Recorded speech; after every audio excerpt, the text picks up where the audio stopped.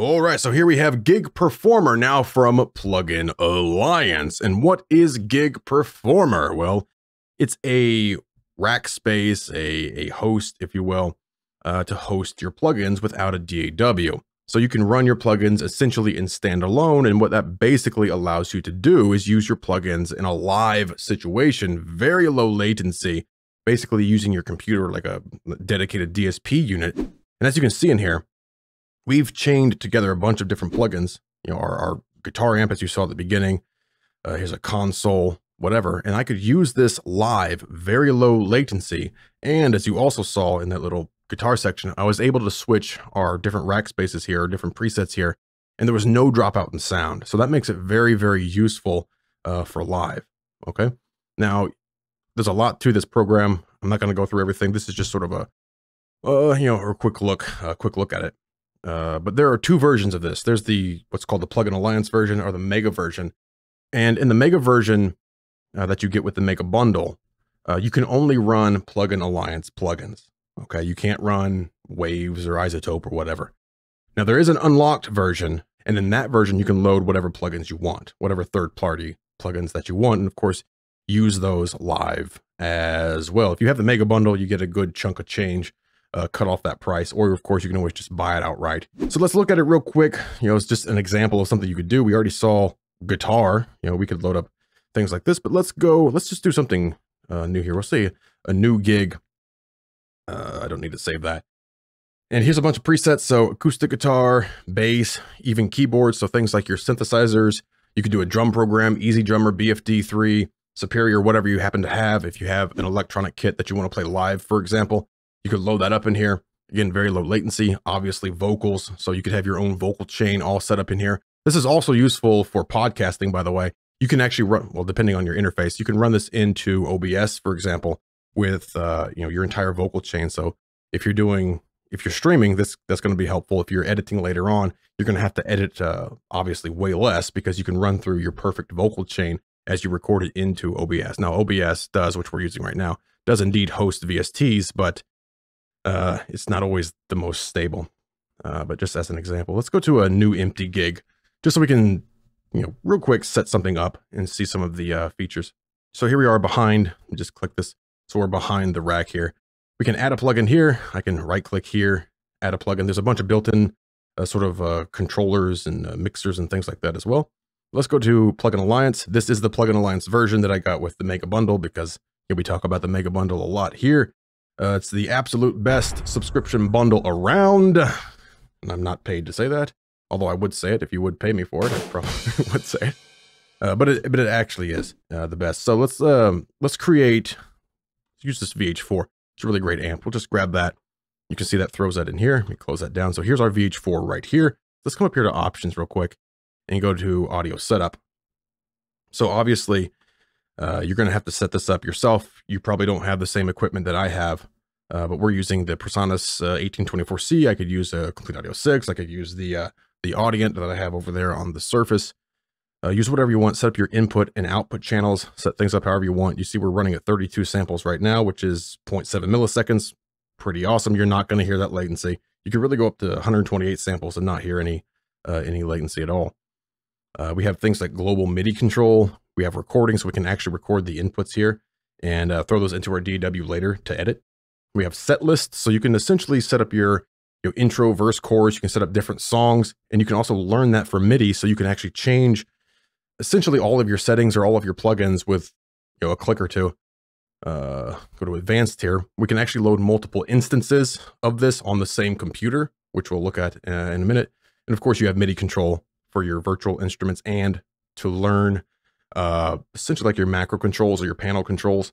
Uh, we'll look at that in just a second too. All right, but uh, we already have our audio interface uh, set up, which you can see right there. So I can draw, uh, you know, pull this in channel one, whatever I'm plugged into, channel two, three, four, whatever I happen to have set up. I can pull that in here. I can also, let me right click here and let's just say uh, gain and balance control mono to stereo. That can be helpful. So I'll pull in channel one because it's a guitar. I can pull both of those in here. Now, as an example, what if I want, let's just right click again. Maybe I want some sort of a, uh, let's go for our tube screamer right there. We'll add this in. There's our tube screamer right there. We can just patch that in. Let me go ahead and disconnect that. Say our tube screamer is going to be first here. And hopefully you get the idea how this works. That can be in there. And another thing I like, I personally like to put this after the amp most of the time. I like to put a stereo maker on this here. So let's find BX stereo maker right there. You can put it before the amp. Some people like to put it before. I actually like to put it after. I just like the sound it gives me, especially for metal. Pull that in there. And of course, you know, throw in whatever else you want. Uh, let me actually disconnect this here. Uh, disconnect that. Let's go here and let's find maybe some sort of an EQ or maybe a compressor or something that you want. Uh, let's go for, let's just come through here. And let's say we want this SPL iron in there for some reason. I wouldn't actually do this, but just as you can see, you can load anything you want and just chain these things together that quick. Bada bing. And let's go ahead and connect this here. And then we'll connect these to the outputs. And you should start hearing that now. That easy pop into your amp. Let me go ahead and turn on my gate so we're not hearing all of that uh, noise.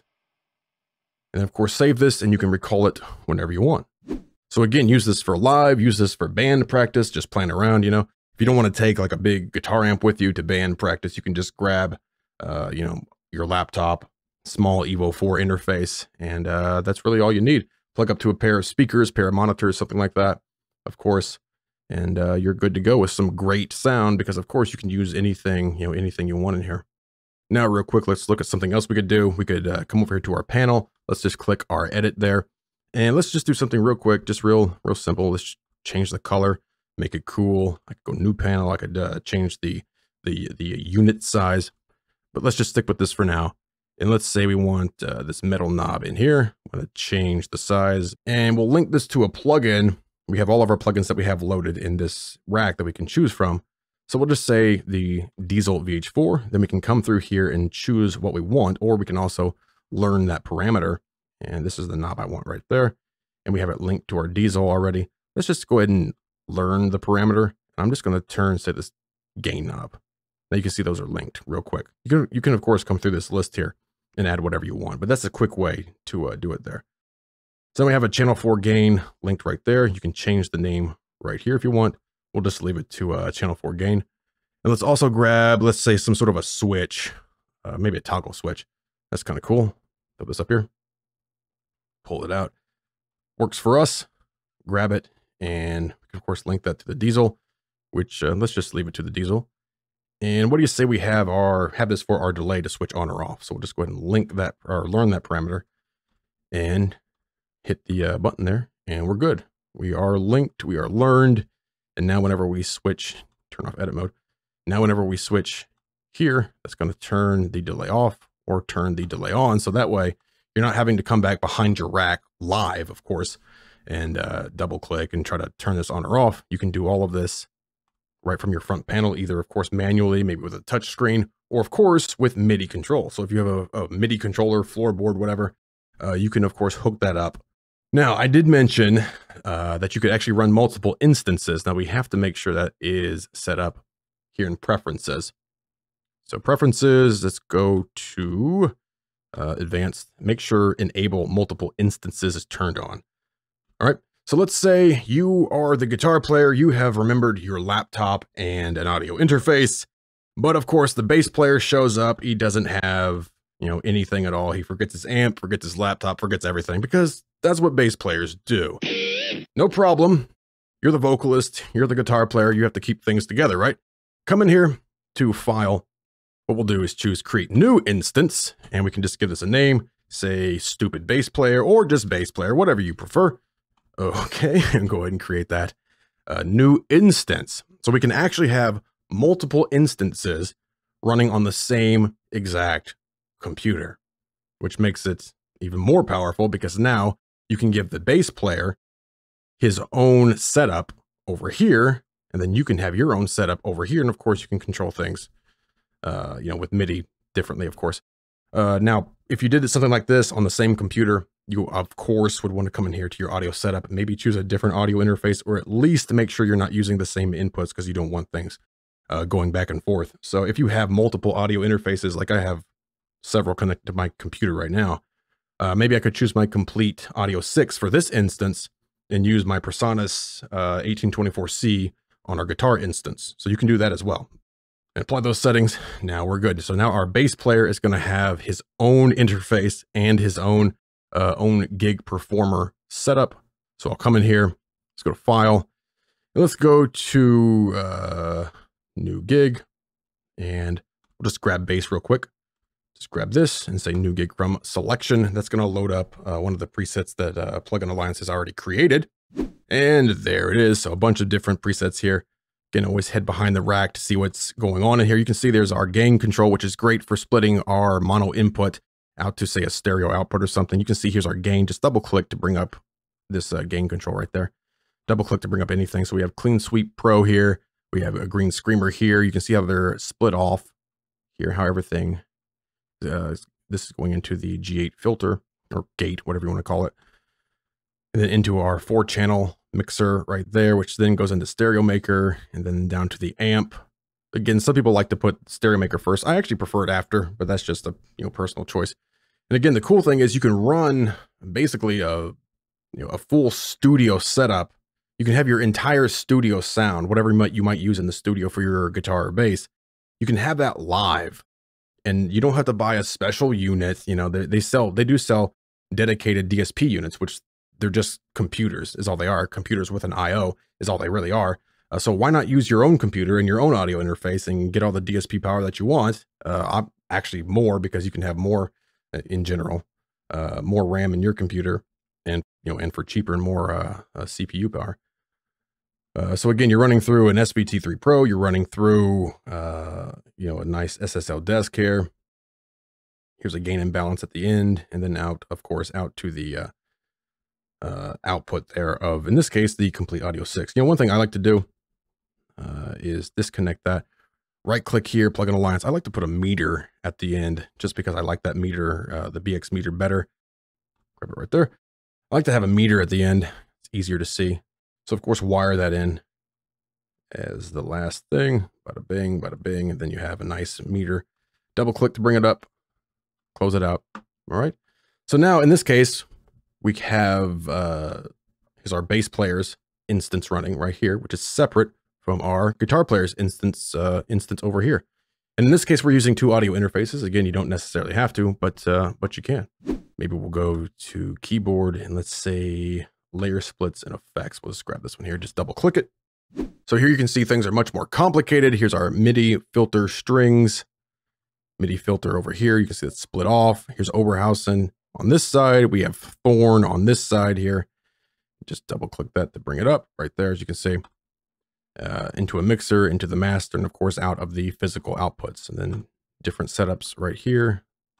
It's a multi-mod split. So a bunch of it's a bunch of presets you can go through, but again, you can always create your own you know setup again, whether it's for vocals, your synthesizers. Um, if you have the unlocked version, again, something like BFD3, Studio Drummer, uh, Kontakt, whatever you want, set all that stuff up.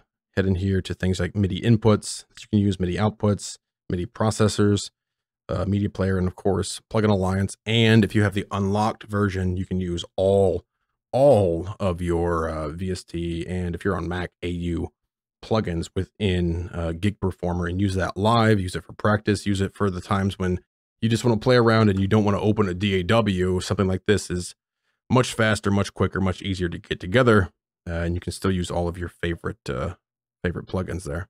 That's a good idea, Jim. All right, so we didn't go through everything, but it's pretty simple to figure out, at least the basics. You know, we showed the uh, basics here. There's also, just click this icon right there.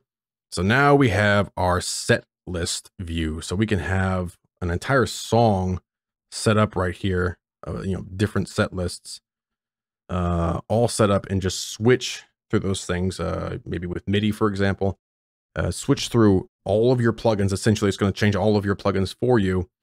Uh, however, however you need to uh, have them, uh, you know, change as you change songs, or even as you, as you change, you know, different parts of songs. You can have a verse set up, a chorus setup, uh, there's a tuner built in here too, uh, by the way. That's something to look forward to. So that is Gig Performer, now part of Plugin Alliance, included with the Plugin Alliance Mega Bundle. And of course, there's the uh, the unlocked version as well. If you want to use your third party VSTs, use them in band practice, use them live, use them whenever you don't want to use a DAW, uh, but you still want to use some awesome uh, plugins or use it to, when you're podcasting too as well. All right, so that's a quick look at Gig Performer 3 from Plugin Alliance.